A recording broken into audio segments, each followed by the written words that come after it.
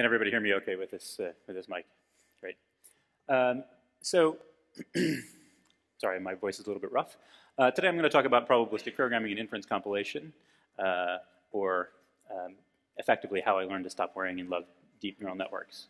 So as Martin said, I work in machine learning, and I was recently asked to go to Japan to represent the UK as an AI slash machine learning expert, and one of the, the, the corporations that we went to had their their media up and uh, you know they, they had their sort of design uh, design brochures of what they can offer and so on and so forth. And their impression of what machine learning is today was machine learning deep learning etc okay? Uh, you should laugh at that. That's supposed to be funny. Um, uh, there is much much more to machine learning than than, than deep learning. Uh, uh and one of the things that's I think most interesting that's uh, that's coming up in the field of machine learning right now is probabilistic programming. Um, so, how many of you are familiar with probabilistic programming? Oh boy, this is great. So I've heard actually that, that probabilistic programming is making more of an impact in the programming languages community uh, right now than it is even in the machine learning community. But I think it's at the intersection where things are going to get really interesting. So let me give you my take on what probabilistic programming is, even though there's a lot of familiarity in the audience, much more so than in a machine learning audience, which is nice. So I think of probabilistic programming as being at the intersection of this community, the programming languages community, the statistics community, the machine learning community, where we share algorithms and inference and, and, and uh, compilers and language techniques uh, eh, to, to bring them together in, in, in interesting uh, and powerful ways. Intuitively, what I think of uh, when I think of probabilistic programming, I think of it like, like this. In computer science, typically we write programs that have some sort of free variables or parameters whose values are provided, then we execute the program to produce some output. In statistics, which is a large part of my background, instead, we have some data that we're in which we're interested, and data is always going to be y, or observations are going to be y for me. And we'd like to describe the data and, uh, and under, we'd like to model the data and, and say something about latent parameters or, or latent variables of interest, and those are going to be x. And the way we do this is we write down some, typically write down some sort of uh, abstract model in terms of a mathematical denotation, this often is a generative model, but not necessarily always, uh, that when given some setting of the latent variables, executes forward and generates the data. The problem is, of course, that what we're given is the output. Uh, uh, we write down some sort of model in some sort of uh, uh mathematical denotation, and we have to get backwards to say something about the latent variables x of interest.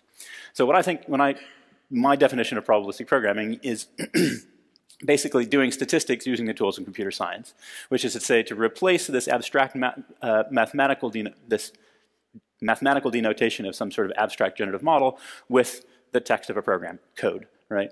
Uh, and here we're going to observe the output of the program, and we'd like to do something to get information about the parameters of the program uh, that would have given rise to the observations were you to execute the program with those, with those values. So the tools that we're going to use for that are the tools of inference. Okay? So when I talk about evaluation models for probabilistic programs, so on and so forth, what we're going to do is for a particular program, instead of running it forward, we're, we're, we're effectively going to run it backwards uh, to give to, to, to, characterize the posterior distribution of the unknowns given the, uh, the observations uh. Okay, so what's a probabilistic program look like? Thanks to Andy Gordon, who stole the uh, paper title Probabilistic Programming for All Times. Okay, you can laugh at that too. Yeah, it's supposed to be funny. Great. Probabilistic programs are usual or functional or usual functional or imperative programs with a couple of added constructs. The very usual construct, namely random variable value generation, the ability to draw values at random from distributions, and the ability to condition values of variables in a program via observations. And this one sometimes catches people out because it's the evaluation model of performing inference, i.e. this conditioning operation that really distinguishes probabilistic programming from, from traditional uh, programming languages uh, or uh, program evaluators. The goal of the community is, uh, is, a, is a bit you could argue that it's either crazy or really cool or really powerful or it's some, something like that. The goal is, is basically, in some sense, to commodify inference. And this is the standard, standard goal of computer science, uh, which is to say that if we can build some sort of abstraction layer, and you know better than I do, uh, that the best way to do that is to define or uh, some language, right? So if we can build uh, if, if, basically we can make a model specification language or a model and inference problem denotation language, then this forms some sort of abstraction barrier between people who write models and simulators up here uh, and people who work on evaluators that perform Bayesian inference down here. Okay, uh, so today I'll talk a fair amount about about this. Uh, let's see where, where we go next. There are some success stories. Uh, how many of you are familiar with bugs or Stan? Okay, so if this were a statistics audience, uh, three quarters of you would have put your hands up. Uh, how about over here with Factorie and infer.net? Obviously, Jason's going to put okay. If this were a machine learning audience, three quarters of you would put your hands up for this. Sorry, the Dyna isn't up here, Jason. Uh, Okay, so let's let's look at what these languages look like and, and think about what's going on, and then and then drive towards the kind of languages that I work on. Um, so just to just to say it right up front, I've got a lot of, lot to get through, so I want to want to put it out there roughly speaking, there are kind of two ways that you could go about making a probabilistic programming language. One, you could identify some inference algorithm and then restrict a language such that the language only generates models that can be solved or in, which inference can be formed, performed using that particular algorithm. Or you can use a, a, a regular unrestricted language, whatever that means, and then see what you can do. Okay? So all of these, and in fact, the vast majority of languages up until maybe the, the, the mid-2010s, um, uh, are languages that are designed to, to be restricted such that a particular inference algorithm will work. So bugs is arguably still the most widely used probabilistic programming language. Uh, the, uh, a bugs program looks something like this, and you can more or less read this, this, this off. There's some model block. There's some bindings for the free variables a, b, c here, and there's a data block which binds values for y here. Uh, and you can read this, you can evaluate this program in a couple of different ways, right? Uh, you can execute it like normal, so you can say x is a, is a value drawn from a normal distribution with mean a and precision 1 over b, and then you can evaluate this loop just as you would normally do. But in a, in a block up here above, I actually know the values for y. Okay? So the evaluation model for this is to say, what's the posterior distribution? What does this program mean? It says, what's the posterior distribution of x given the values of y, a, b, and c? Okay? Now, uh, you can also choose to evaluate this program by uh, constructing the corresponding graphical model. Okay? So how many of you are familiar with graphical model notation? Okay, uh, uh, enough. There won't be a lot of it. But basically, you can imagine that there's some x, there are some y's that are dependent on that x, and you've got some variables here. And we have, in machine learning and statistics, algorithms that we know how to perform inference in graphs like this, provided that the, the, the functions on these edges are deterministic.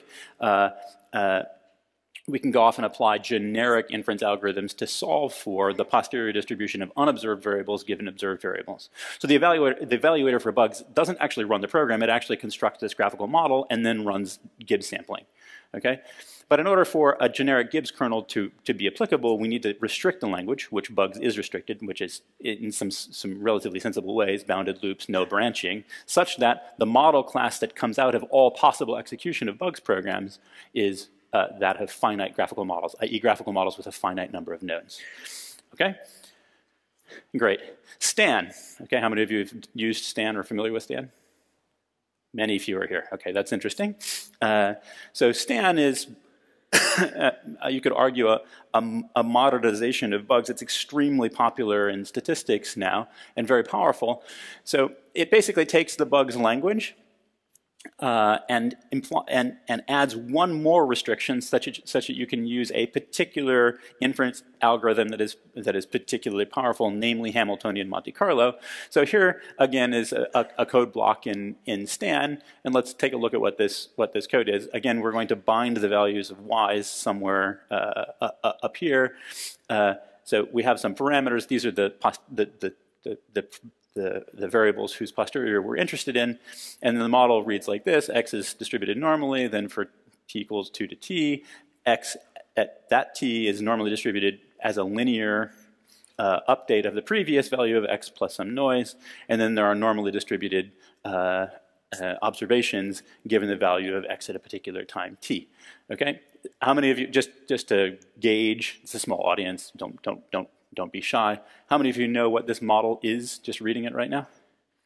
Anybody? I, know Jason. You're going to know what it is. Uh, anybody want to? Anybody want to shout it out? It's a, it's a, actually a Kalman smoother, a linear dynamical system. It's a smoother, exactly, but yes, it's a Kalman filter. I would say Kalman filter almost every time. Yeah, great. So this is a Kalman filter, and if you're in machine learning or machine, uh, if you're in machine learning or statistics, this just jumps out, just jumps out at you. You know what it is. It, it doesn't, you know, if I ask that same question to a statistics audience, basically everyone knows what, knows the answer. Okay, so So what's interesting here? So again, we have the same kind of language restrictions, except there's even one more. Namely, there are no discrete random variables allowed. Okay, oops, that's, that's, that's a big restriction. However, what you get for that is that you can do in, uh, in a particular kind of inference called Hamiltonian Monte Carlo, which relies very heavily on reverse mode automatic differentiation. Hello, programming languages. Okay, so if you make that, that restriction, the bugs restrictions plus the, the no discrete random variables, then you have an automatic way of getting this particular derivative, which is essential for very, very rapid inference uh, in uh, finite graphical models with, with no discrete random variables. Okay, great. So that's the first place where programming languages really pops up. Okay. So there are a lot of probabilistic programming languages, and I apologize. Many of you have probably uh, worked on, on languages that aren't, aren't, aren't here, but uh, I would say that there have been contributions which could be called probabilistic programming languages from pro the programming languages community, the artificial intelligence community, the machine learning community, the statistics community, and uh, uh effectively the names of a bunch of the languages show up where they first appeared in the literature. But I would argue that um, uh, there's a, a, principal distinction uh, uh, that I've started to indicate by shading here, which is that the stuff that's shaded uh, has restricted the language in such a way as to make the, the, the, language compatible with some sort of efficient inference scheme. Over here, generally speaking, it's exact inference and counting, and over here it's something like Gibbs sampling or Hamiltonian Monte Carlo or something like that, where you've explicitly restricted the expressivity of the language. You'll note that there's a big block of stuff up here uh, and over here that's starting to emerge that's rather different. So we're programming languages people, or you're programming languages people, and I wish that I were a programming languages person. You can laugh at that too. I see that the programming languages community has a very well developed sense of humor. This is great. uh, or you wish they did. Okay, great. Thank you. Uh, okay, so um, what we would like, though, uh, particularly uh, what we've found is as we start to develop models and start to use these things, what ends up happening is that you get, anytime you deal with a domain-specific language or you, you have some sort of restricted language, it's very frustrating if you want to do arbitrary computations or you want to do interesting things or you want to use black box functions or, or something like that. So what we'd like is actually just to be able to use a normal language, C or Java or Clojure or C++ or something like that. Uh, but in so doing, uh, we also, I mean, in, in so doing, we we would like to be able to, to work with Bayesian nonparametric models or open universe models, basically models that have infinite dimensional parameter spaces or almost sure termination or languages with almost sure termination. We'd like to be able to use discrete and continuous variables. We'd like to be able to use existing libraries. We'd like the language to be easily extensible, all these kinds of things. Of course, we already know, or I've sort of made it relatively clear, that, that doing this will have some cost. Namely, inference will be harder, and there'll be lots, lots more ways to shoot yourself in the foot. But one can operate in this space, okay? And this is part of the, the, the, the design of, the, of, of, of, for instance, Anglican, which is one of the languages on which I've worked. and here's a, here's a, just a fun example application of something that you can do in Anglican that you would have a hard time doing in, in, in, a, in, an un, in a restricted language. So um, uh, let me say, let me give you the, the, the following task. There's going to be a bunch of balls dropping off of this thing here, and we want to put those balls, actually 20% of them in the box. Uh, and I'll tell you that what I want you to use, and in fact what is being used here, is the JBox 2D physics engine, which is the physics engine behind Angry Birds. And what I'd like to do is I'd like to form this, I'd like to solve this problem using the tools of inference. And the way we're going to do this, we'll write a query which says, which is named arrange bumpers. Uh, and it's going to allow us to put some bumper positions in here, then create the world given those bumper positions, which is just an empty vector here. It'll simulate the world to the end using a physics engine that somebody else wrote, thank God for that. Uh, then it will pick up the balls out of some data structure from the end of the world. It'll count how many of them in, in the box, and then report uh, the, the balls in the bumper position so that we can look at the, the visualization afterwards. Okay? Anybody know how to do this using the tools of inference? Roughly. Okay, first step, and this is where it's just really nice to be able to have data structures and unrestricted uh, language constructs and open universe models, so on and so forth, is we might just want to say that there are some number of bumpers, and that might be a sample from a Poisson distribution. Straight away, you know that Poisson has uh, unbounded support, so now we have almost sure termination and all sorts of problems uh, straight away. But we'd like to be able to write something like that. A normal user would write something like that. Then we'd like to be able to, to, to, to set, some, set up some first-class distribution objects, which are the x and y bumper positions. And then I mean, why not? Let's use some higher order fu functionality. Let's repeatedly, uh, for some number of times, call an anonymous function which creates a vector of, of uh, x and y positions. Okay, fine, nice little language. It puts some, it puts some, it puts some bumper positions out there.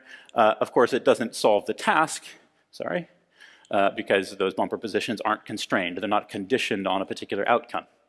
Now, you should note that I asked for 20% of the balls. There are 20 that are dropped, uh, and it's a deterministic physics simulator. So the inference task here is actually quite hard and would be difficult to do manually. Very, very difficult to do manually. However, using the tools of conditioning, we can, in fact, actually frame this as, a, as what's known as a, an approximate Bayesian computation, say that I would like four out of the 20 balls to go in the box, and just observe from that particular distribution the number of balls in the box, introducing a conditioning constraint and yielding uh, a universe or a posterior universe of bumper positions that actually satisfy this criteria. Okay? So uh, this is, uh, the, the, the points of this are uh, let's see, um, it's nice to have an unrestricted language so that you can use physics simulators that somebody else wrote for you, and you can use higher order language features to keep your code compact, and you can use data structures and so on and so forth. It's also nice to be able to actually perform, and it's a demonstration that one can actually perform inference in such unrestricted languages anyway. Okay, so uh, some part of the talk uh, will be about now about how we actually do this, how one can do, uh, one can perform inference in such languages. The next part of the talk will be why doing inference that way stinks, and then the last part of the talk will be uh, how to do it much, much faster. Okay. So Anglican is one of uh, what we call a higher order probabilistic programming language, uh, which generally, uh, uh, there's a paper coming out, well, it'll be, it'll be clarified a, a lot, uh, but you can think of it as basically just being uh, an unrestricted language. Okay?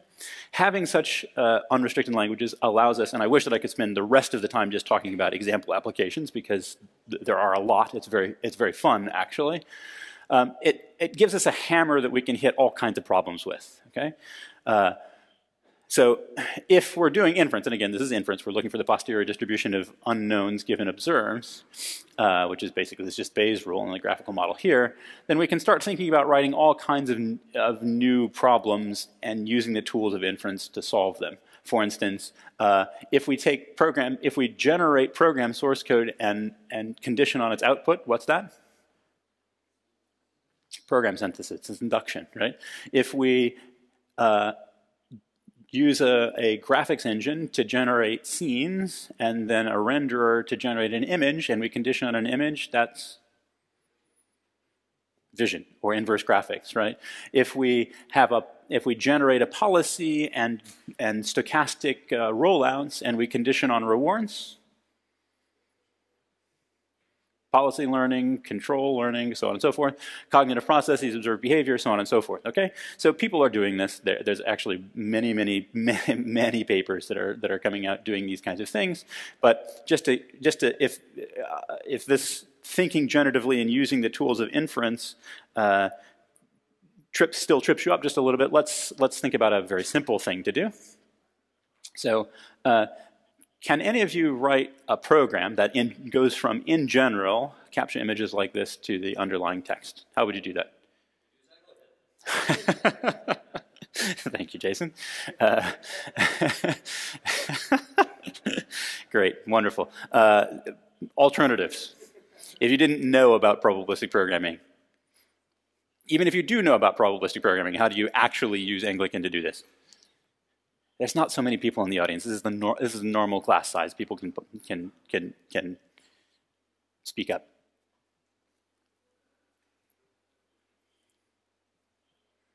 This is, I, I've, I figured out that programming languages people are the smartest people I've ever known in my life. All of you are sitting there thinking about a solution, right? We are all thinking of the elephant in the room. The elephant. Okay, so, all right, so how do you use deep learning? I don't know, but you just try whatever models uh, that have been tried before. And Well, there's a little bit of a, okay, so great. Okay, so great. Let's, uh, perfect. Okay, absolutely perfect. So deep learning. So how do we, how do we do deep learning? What, what are the prerequisites for deep learning? Lo- Lots of machines and lots of examples. Screw programming languages. Exactly. Okay, you're right. So one could, for instance, generate a very large number of captchas or gather a very large number of captchas, hire some, uh, some disadvantaged human being to label those captchas, and then train an end-to-end system, uh, basically regressing from here to there. You'd probably start with a convolutional neural network and probably do pretty well actually, okay? But that, that involves labeling, basically having, you know, it, uh, yes, it, exactly, uh, tilling the earth, right, and exploiting under, uh, uh, underrepresented uh, humans, okay? I mean, let's, let's be real, right? I mean, who wants to label captchas? Okay, so alternatively,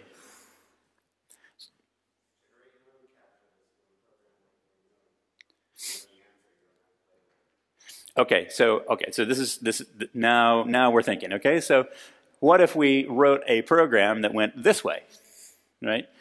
And if that program happened to be really, really, really close, or generate captchas that are really, really close to the to the captcha of interest, then maybe we can generate synthetic data to plug into such a such a pipeline. That's great.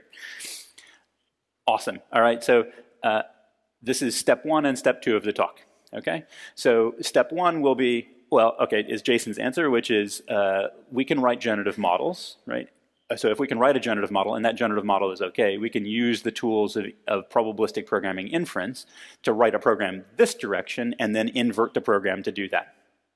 Okay, so writing the program to go this direction is really, really hard. That, I mean, deep learning. There's a reason why deep learning actually is is, is interesting, powerful, and, and important. Uh, it's because basically we don't know how to write programs like this, and it's really nice to be able to have a billion parameters to play around with, right? And have those fit automatically, the, the program written for you. But writing a program to go this way is easy, right? In fact, you just you sample some number of char- you sample a, a character from ASCII, you sample its position, size, style, you sample a captcha by sampling some number of characters, again here from Poisson, uh, some noise, and you generate an image. And if you have prob- a probabilistic programming system that's unrestricted and allows you to do all this sort of stuff, then you can just simply say, okay, here's the, here's the query, there's the captcha, there's the, the image that we generated. Let's observe under some similarity kernel the, generated, the difference between the generative, generated image and the true image, and then just run some sort of inference conditioning on the true image. And what will happen is asymptotically, we will arrive at a, a correct decomposition or a correct uh, um, posterior distribution over the latent, latent strings. Okay? So generative model, inference, result. So we're writing the program in the opposite order, and which is easier to reason about. Okay. This should give you a sense now. A couple of interesting examples, and again, I wish I could spend the entire time talking about this. So uh, one is directed procedural graphics. This comes out of uh, our collaborators at, at, at, Stanford, Pat Hanrahan, Noah Goodman, and Daniel Ritchie. Daniel has just gone to Brown, uh, and Noah has just gone to Uber. Uh, Uh, so if you wanted, no, the, the idea here is basically is, is uh, constrained procedural graphics. So if you want to uh, generate a forest for a um, for a uh, Hollywood uh, animated movie or something like that, you don't hire a thousand designers. You hire one uh, procedural graphics programmer who writes a, for instance, tree generator. But then if John Lasseter comes in the room and says, I want trees to miss these particular physical objects in this particular scene, one way that I can do that is I can impose a constraint and then ask for the posterior distribution of trees that miss these physical constraints. Okay. Uh, uh, same thing for stable structures. Okay. That seemed to not be so interesting for you guys because you like it hard. You're programming languages people. Let's do something hard then. Uh, so let's say, for instance, and I'm sorry that this is this looks like a Gaussian distribution, uh, but let's say I, I give you this blue empirical distribution. Okay? And I say, I want you to write me a piece of code that generates samples that are indistinguishable from this empirical distribution. Okay? Uh, all right, that's hard. But we can use the tools of inference. So this is a little paper that, that one of my uh, uh, master students and I did a, a little while ago. We said, okay, well, let's solve this using the tools of inference. Let's generate program code. All right? And then condition on the uh, repeated execution of the program generating sample values, the empirical distribution of those sample values passing a KS test statistic or not, not failing a KS test of indistinguishability from this. So what you're getting here is the prior distribution over, over programs and histograms of samples drawn by running those programs repeatedly.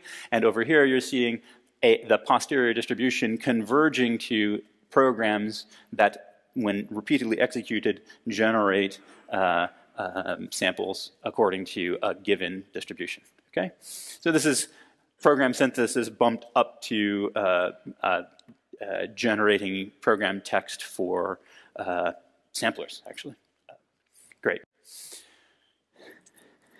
Okay. The problem is, of course, that inference is formally hard, right? It's, it's just hard.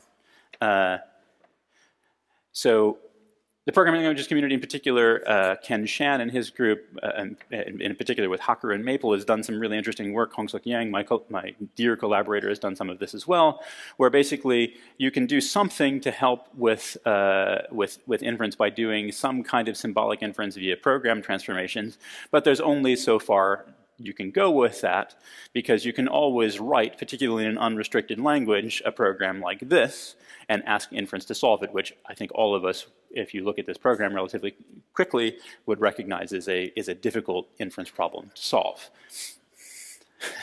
I get more laughs for that. Wow, great. okay. So what's going on? So what, what, what's, what's really going on?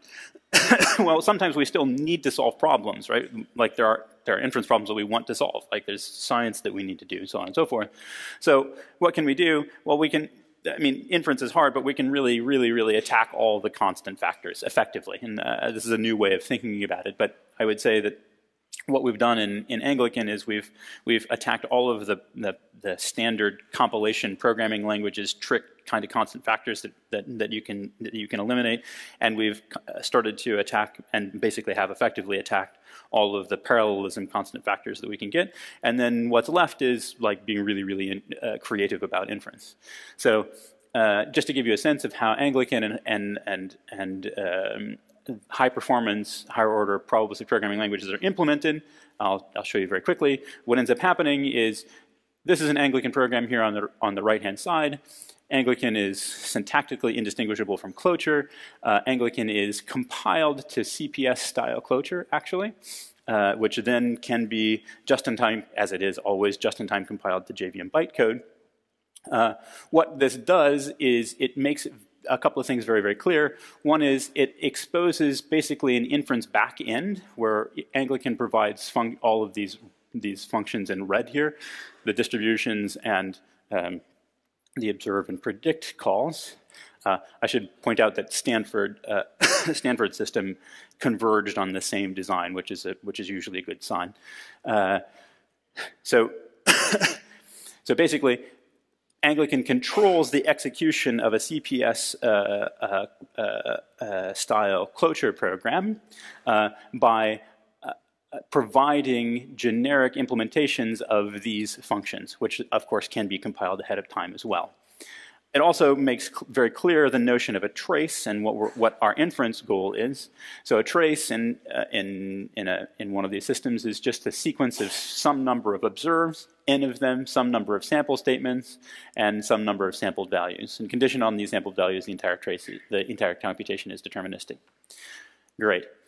The trace probability looks like so. It's just the joint distribution of all the observes and all, all of the observes and all of the latent variables, and this is a product over n uh, observes and m sample statements in a particular trace, and this hides a true dependency structure where everything, uh, uh, all of these variables basically can be conditioned on the entire uh, state of the execution. Okay, so uh, I should point out that this gamma of, of x is the joint distribution, uh, so that when you see gamma of x over z, this is the target that we're after. Okay, so we've we've got a we've got uh, an Anglican program. It gets compiled.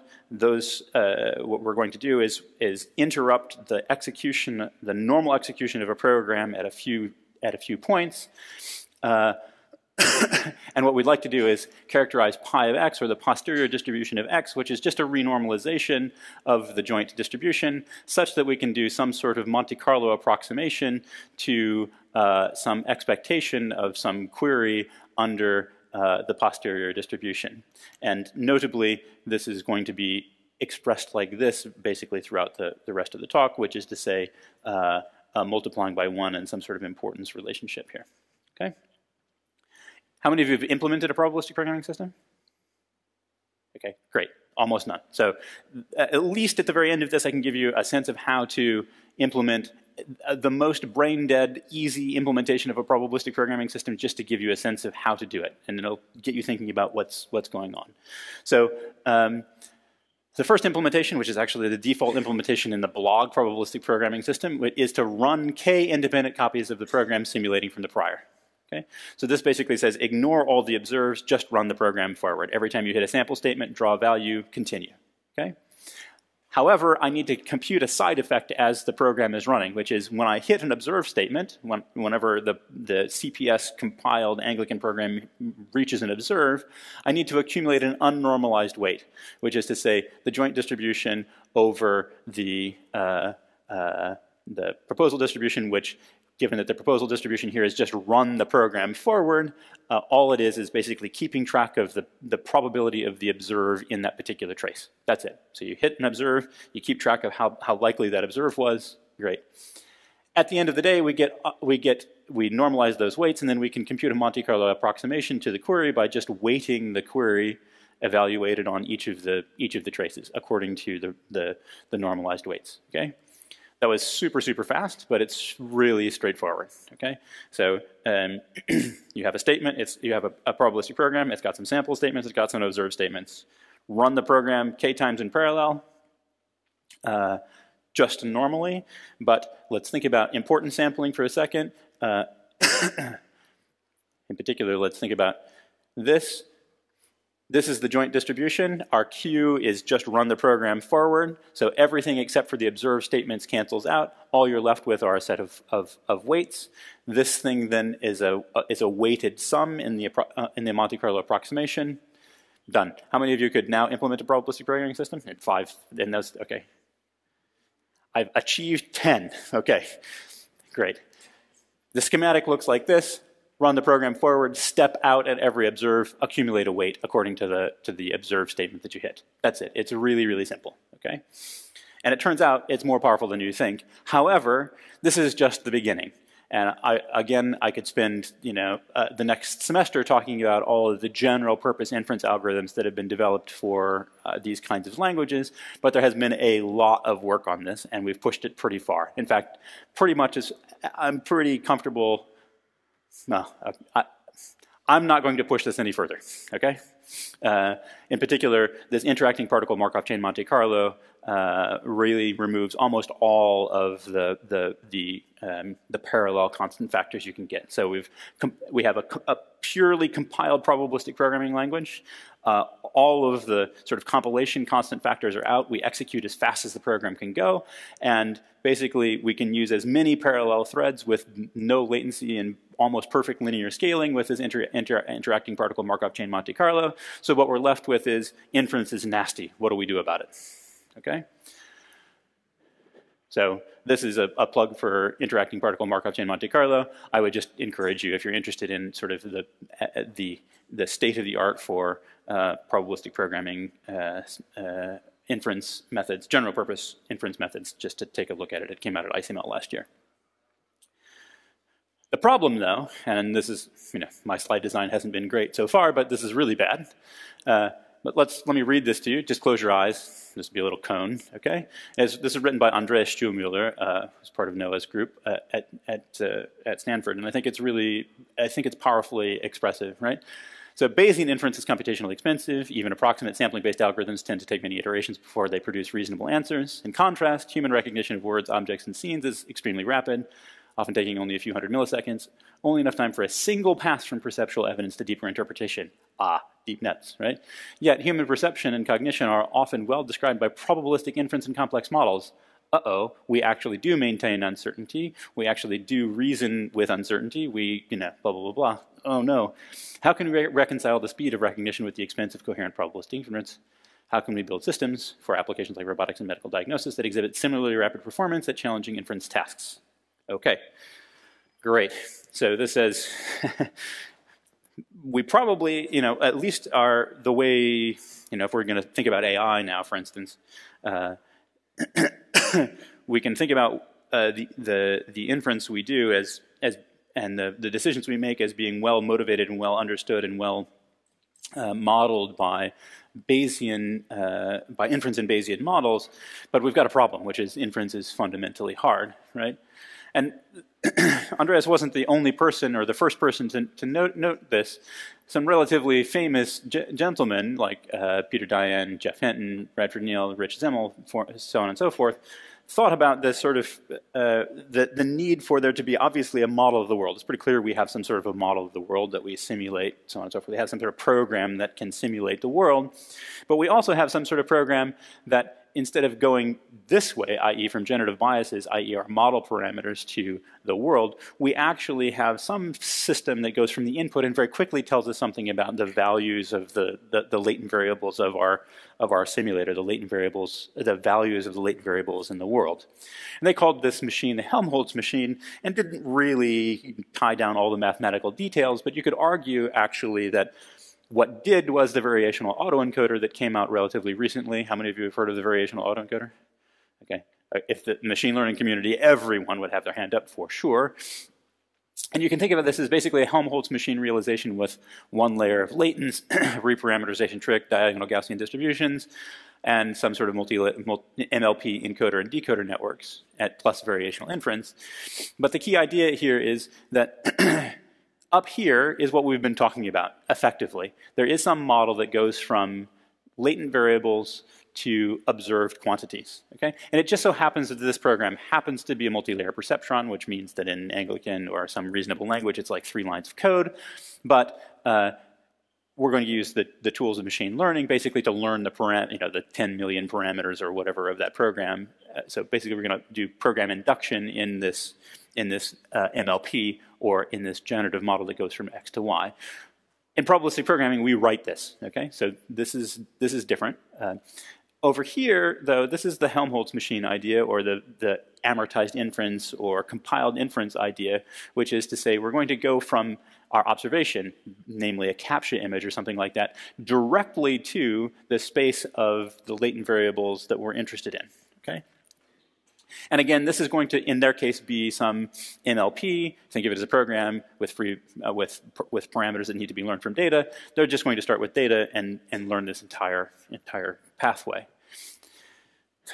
At, at, about the same time, one of my good friends, Tejas Kulkarni, who's now at, at DeepMind, uh, and was with Josh's group and was playing with me when I was visiting their, their, their lab, said, well, we've been working on inverse graphics and inference is slow, and if we want to use inverse graphics for actual applications, like for instance, uh, conditioning on an image and then reconstructing the image as a, as a, um, as a as a mesh with, with uh, colors and normals and so on and so forth, the latent variables here actually being the geometry and colors of the face, such that then we can re-render it in, no, novel pose or with different, with, with different uh, lighting configurations. Well, this looks actually a lot like the variational autoencoder kind of setup. It looks like we can write some sort of graphics code in here. Basically, we can write a renderer that takes these values and generates uh, uh some image.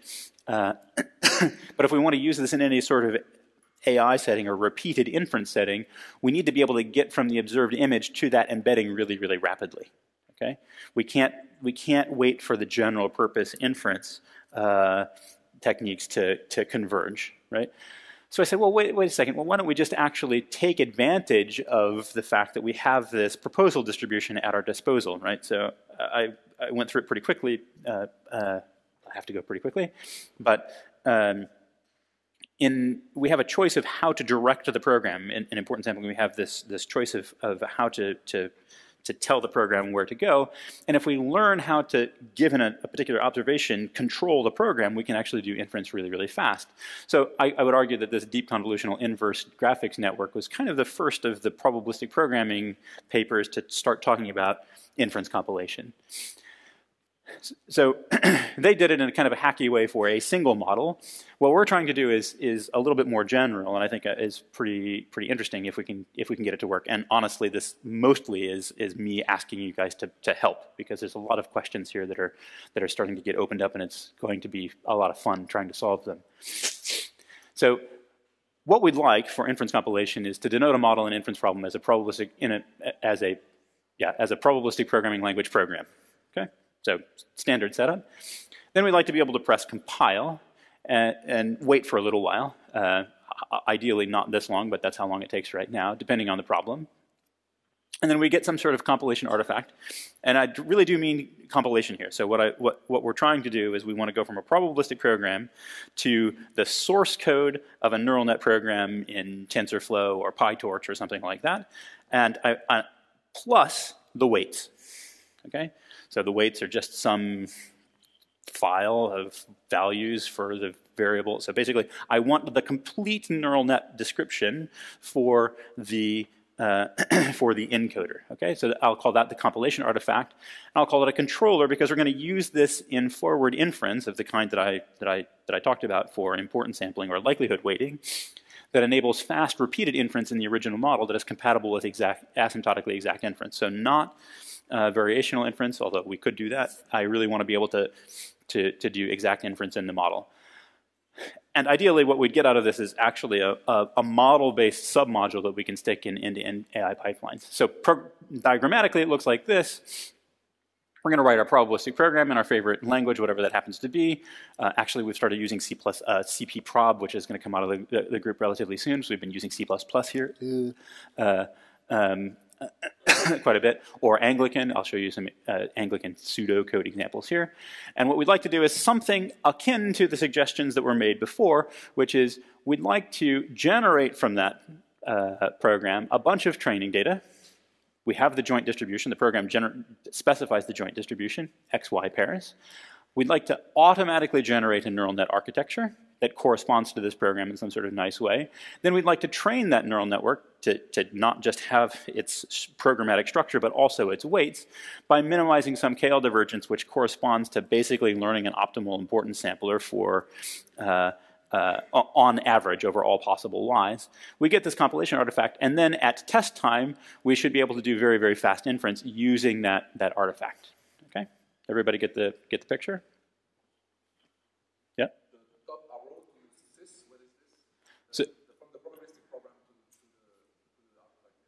Uh, okay, the, okay, great. So this is a good, that's actually a remarkably good question. Uh, so um, I said that I want to be able to do asymptotically exact inference in the model, whatever the model happens to be. So uh, when we perform inference, we're actually going to be performing inference in the program, in the, the, the, the, the distribution specified by the program. So in fact, what we're going to be doing is we're still going to actually be running the probabilistic program. We're still going to be doing probabilistic programming inference. We are not simply going to be giving the regression output, but instead we're going to be controlling the program so as to perform inference in the program. And I'll give one example at the very, very end as to why we might want to do that. Uh, but this does actually correspond exactly to the notion to, to or not, not exactly, it's very, it smells close in spirit to a bunch of the recent breakthroughs in deep learning, like uh, the multi-digit number recognition from Street View imagery, where basically they made a bunch of synthetic data in order to, to train a neural net to solve this problem. Also, the first paper, paper that broke CAPTCHA, by the way, was from the people who make CAPTCHAs right? So they didn't have to label them. They actually had the CAPTCHA generating mechanism. So great, they just make a bunch of labeled training data. And of course, out of uh, the uh, Zisserman group, there's been a bunch of uh, uh neural networks for natural scene text recognition and for uh, text localization and natural images. And the, the, the, idea here is we have some generative model. Uh, we can generate data from it. If that generative model matches the, the, the real data in some sort of way, then any, then there's evidence that deep neural networks can perform some kind of inference. Like they, they can take something, some nonlinear factor off of the, off of the, the cost of inference. And uh, I think this is not, not well understood. Uh, but there's proof of concept that it works. And uh, although these guys don't think about doing inference and they're not, they don't recognize that the models that they make actually are models in which one can then perform inference and account for uncertainty. We're going to do that uh, all the way through. We're going to start with graphical models and give you a flavor of what's going on, and then we'll do the higher order stuff and then, and then wrap up. How am I doing on time? Over? I have five minutes left or five minutes over? Five minutes left, okay. Uh, so graphical model inference. So this is the same, what, huh? Uh, so, so um, let's let's think about graphical models. So the, the, joint distribution of a graphical model is it can be decomposed like this for any arbitrary uh, sets of x's and y's. All I'm going, all I'm saying here is this is basically the same as the prob prog setup. We're just going to be in the in the BUGS case of, of a restricted language where there are only a finite number of graphs, a finite number of, of, of edges. If we say, for instance, want to use importance sampling to do inference in such a model or sequential Monte Carlo, then we approximate as we have so far the posterior as weighted samples. So here's the posterior distribution, here's the weights, and the weights arise from basically being the unnormalized weights are basically the joint distribution over some proposal distribution, where that proposal distribution has some parameter lambda. Uh, great. The performance of this kind of inference, as performance in importance sampling always does, uh, depends very, very heavily on, on, on how good this proposal Q is. Great. So there's lots of, uh, lots of stuff in the statistics community on learning a proposal for a single data set. So if we have some target density, which is the posterior distribution, and some approximating family Q of x given lambda, then for a single data set, i.e. a single inference task, we want to do one inference, uh, then you might want to augment over lambda the KL divergence between the posterior and Q with respect to lambda, choosing uh, the KL divergence in this direction for, for various reasons, namely because Q is on the bottom and we want to make sure that it's not, uh, that it's bigger than P everywhere. Uh, great. So this is one way to get to uh, a notion of an optimal importance sampling proposal. Well, what we noticed, uh, and it's, it's, it, this is pretty well known, it's, not, it's, it's almost trivial actually, is that if we make lambda a function of the observed quantities, then we can average over the distribution of, of, of, of observed quantities and attempt to minimize that KL divergence averaging over all the data that could be drawn from the model or all the observable data from the model. So now let's think of phi here as being some neural net parameterized by eta and the, the observed quantities. In fact, it's going to be parameterized by a little bit more than that. Um, uh, then we can think of this upper level uh, objective as basically being the average of the KL divergence over all y's. If we write the KL divergence out, this comes out to be an, an expectation, this is, this is the whole thing right here, an expectation over the joint distribution of minus log q of x given phi eta y, okay? So this says if I have the joint distribution, or if I have a model, for instance, that generates that, from which I can generate samples from the joint distribution, and I have some sort of neural artifact that's able to produce parameters for the distributions of this uh, uh encountered at every sample statement as the program runs forward. I basically can learn a controller that says the program, in order to generate observation y must have run this way at this particular sample statement, at this particular choice. Okay? Let that sink in for a second. Okay? It's pretty cool. So we're going to learn a controller effectively that knows how to map from y. So I'm going to give it a new y, and it says, uh, because I've experienced a whole lot of y's, I know the model, I know how the program must have run, then I can just start and say, well, the first random choice of the program, in order to generate this y, must have come from this distribution. And in fact, that distribution is going to be close to the posterior distribution, because if it weren't, then you're in trouble, right? So let's look at how this works. So this ICML paper, Inference Networks for Sequential Monte Carlo and Graphical Models, which is really actually a probabilistic programming paper, but in machine learning, if you, oh, that's a hard, let's, let's not talk about that. Um, we did something where we took graphical models, like for instance, a, a heavy-tailed non-conjugate uh, regression model uh, uh, with Laplace priors on the weights and student t observations, and then use basically a minimal IMAP preserving transformation to automatically transform the graphical model. So in other words, think BUGS to this, uh, BUGS program to this, transform the BUGS, uh, the, the, graphical model into a new graphical model that runs backwards from the observation. So it actually, all the arrows start from the observations and run backwards. Okay, great. So we have this, and then we, we in this help please programming languages community, there's a bit of hand stuff that happened in this particular case in order to build a neural net proposal, okay? But this is largely to give you a sense of what's going on because I'm going to move to the Anglican case right after this. So Here's an example of what, what can happen. So again, this is a polynomial regression model. On the left here is the ground truth posterior, having looked at the prior, and you can't see the prior here. It's extremely diffuse. It's all over the place. Um, but basically, every row here is a new data set, a data set that was never seen in training. It was never, uh, uh, it's just, it's new. Okay, it's, I say, I've given you this co compilation artifact. I want you to perform inference given my new data y. Okay.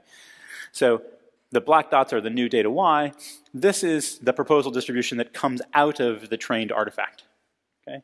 So uh, basically this is a one-shot structured inversion of the probabilistic program that does a pretty decent job of capturing the uncertainty that's actually there, the true posterior distribution. However, because we do this in an importance sampling setup, we actually have the ability to clean those up by importance weights and get very, very high fidelity approximations to the true the true posterior. In a feed-forward one-shot computation that was trained by compiling the probabilistic program to a neural net uh, structure and weights. Okay, wow. Can't see those at all. So how do we do this for higher order programs? I haven't talked about a bunch of the gory details. Okay, I, I, okay, great. I'll, I'll, I'll skip this and say we can do this for higher order probabilistic programs basically by training something that goes forward, okay? And it involves some crazy neural network stuff, stacked LSTM, blah, blah, blah, crazy stuff, polymorphing, so on and so forth. It's implemented, it's Anglican plus torch, 0MQ, and what we get is some pretty cool stuff. So if we have an open universe Gaussian mixture model, we get instantaneous inference, counting, localization, means, covariances, the full deal. One shot straight away. That's basically what, what, what, what this shows.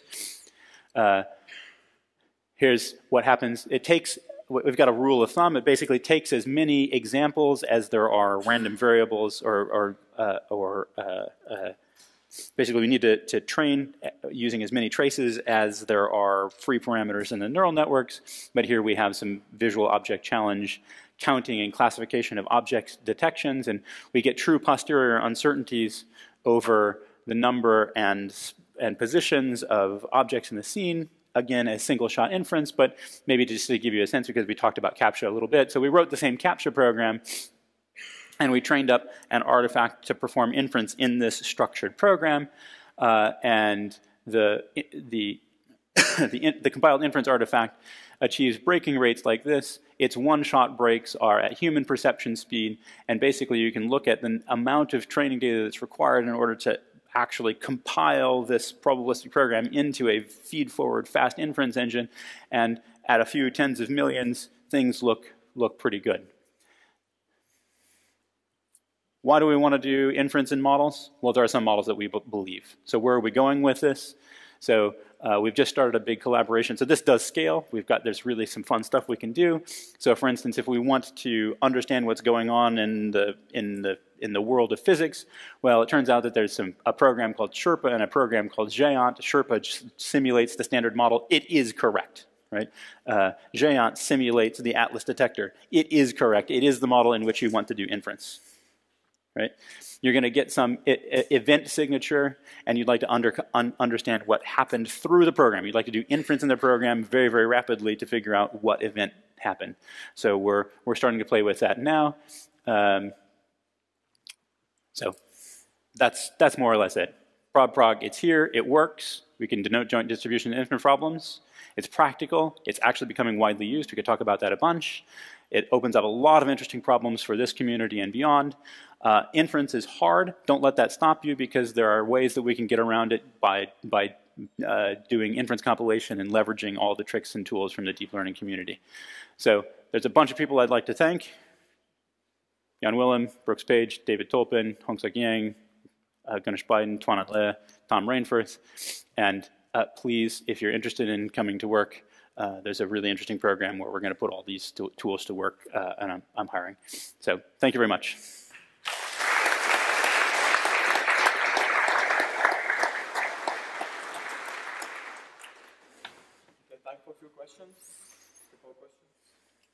You should tell them. Now's the time to tell them. Yeah. So one more thing here I didn't tell you in the beginning. Did you get it, by the way? Maybe. So uh, Frank actually uh, had uh, appendicitis surgery on Saturday. And uh, he really, really wanted to come here to talk to you guys. And uh, really, really didn't want to cancel the, the engagement. So really, I'm uh, super impressed uh, by what he did coming here, flying here from London. So let's thank Frank again, actually.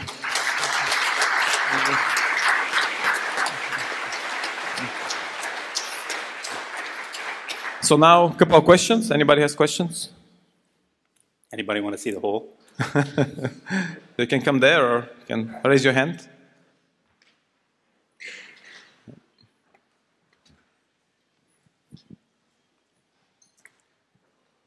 Uh, hi. Hi.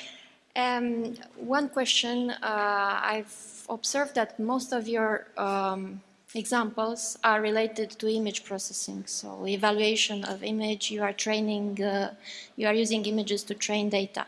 So have you tried um, uh, evaluating your tool, I mean using your tool on say Google Maps of a particular scale, all Google Maps of a particular scale?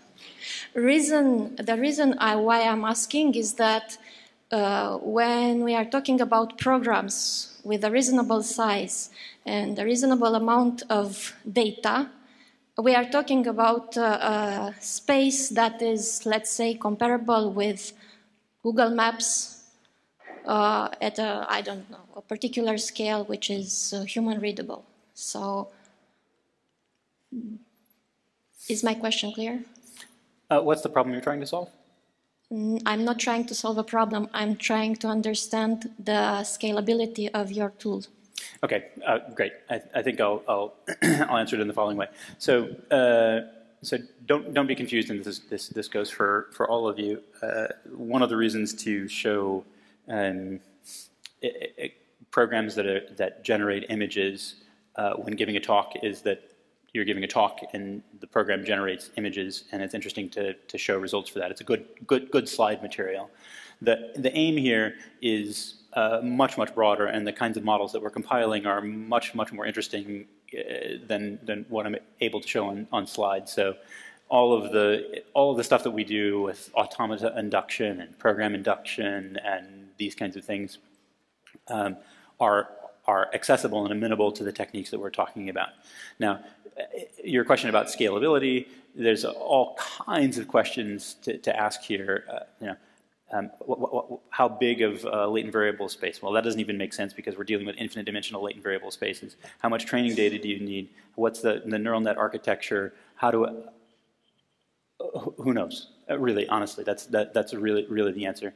What we what I can say is basically any any program that we've written in Anglican, whether it's automata induction or or uh, or PCA or uh, so on and so forth, we're able to use these techniques successfully, provided that we find a reasonable embedding. And the embedding, that's that's an interesting an interesting question. And where you know the, this is actually asking a bunch of deep learning questions as well, like what's what's actually doing the work of inverting the program. Is it the LSTM? Is it the embedder? Is it, who knows? Uh, uh, we don't know. This is very, very recent work, and I, uh, I'd like to engage with you guys about it. Yeah.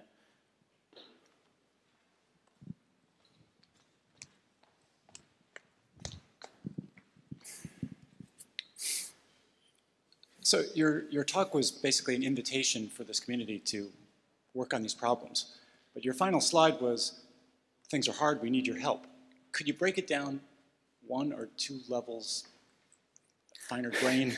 what specific things are out there that are possibly tractable that this community might uh, have some techniques? So, so this is this is a really good question. I assume everybody could hear it. Um, uh, so. I, I went back and forth on whether or not to leave in a slide like that, whether or not it would be fair to my postdocs and students to give out all the good ideas, or to.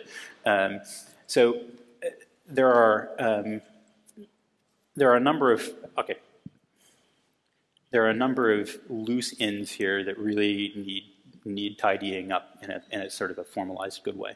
Uh, one is, it's really, in, in, in, say for instance, here's, here's one of them. In the graphical modeling world, it's relatively clear how you can take a, a dependency structure. In fact, it's well known. You can look it up in Col uh, uh, uh Friedman and, and Koller.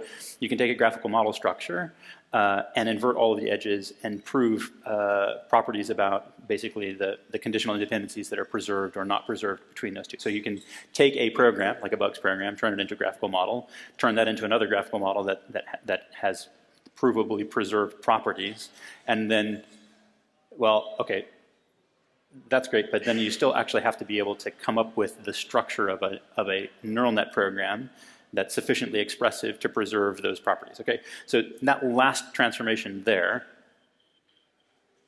don't know. That's that, that's hard, and it's much much harder when you have one of these higher order languages where you don't have the ability to actually invert the actually explicitly invert the dependencies in the program. You have to somehow derive uh, the structure of the neural net program from the structure of the original program and that's a programming language challenge if I've if I've if I've ever if I've ever seen one, if if that makes any sense. So uh, so I, I give you an I give you an arbitrary Anglican program, and I want you to to give me the structure of a neural net uh, that will invert that program.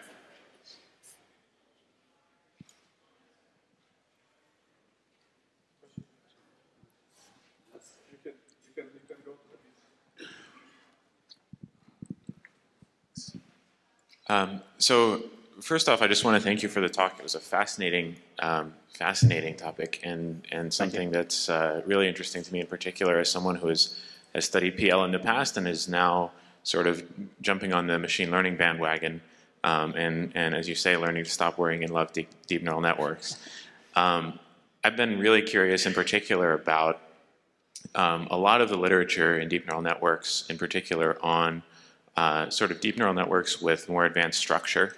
So like recurrent networks, um, networks with sort of variable processing components, uh, networks with attention models that can look at the input multiple times, look at different parts of the input. It strikes me in the context of your talk as accomplishing something akin to taking the initial posterior estimate and refining it. And I wonder if you've looked at that connection at all, and in particular, you know, whether you can improve those techniques to make them more like inference or vice versa. Um, and, and what are your thoughts on developing those, those ideas further? I, I, think I'll combine the, the answer. Uh, thank you for your kind words, and uh, I think I'll combine my answer to that with a, a continuing answer to, to, to, this, which is to say that there's, I mean, what's going on with deep networks is, is really pretty pretty interesting. Which is, uh, you know, it used to drive me crazy that the deep, deep networking community would say we are doing inference right? So we're going from some observed space and we're inferring, you know, the class of something or whatever. And I was like, ah, oh, that's not inference. But in fact, it, it, it actually kind of is, right? Um, now the question is, uh, these, these, the, the structure of the, you know, obviously nobody knows anything about how to, to actually programmatically derive the structure of these things. But uh, I, I, think it, I think working towards that, you, you might get a large, you, you might get some leverage from this, this perspective saying there is actually some generative model. The thing that we actually want to do inference in is structured in some kind of a way. Can I use that the structure of the, the model that I have in mind to inform the structure of the inference network? Absolutely. So another, another you, you mentioned attention mechanism. So, so I didn't mention at all, I didn't talk at all about addresses. This is something I always have to gloss over because it's incredibly, incredibly gross and you'll, you'll appreciate it, right? Where does a sample statement take place in the execution of a, of a program, right? I need to be able to identify every single one of those perfectly. So there's an addressing scheme that comes along, and there's you, every every execution is freighted with an address, right? Okay, but every inverse execution has to make a prediction at every address, and everything that's in scope may actually affect that, right? So, but which variables in scope would be useful for making some sort of statement about the inverse? I don't know. So we, we actually need attention models even in the deep neural networks in order to, to, to, to figure out which part of this, the variables in scope could actually influence its, yeah, yeah, exactly. Yeah. Okay, so let's take the rest of the questions offline. Uh, Frank will be around today and tomorrow, so you can come down and talk to him if you have more questions, if you want to discuss with him. Uh, so let's thank uh, Frank again for the great talk.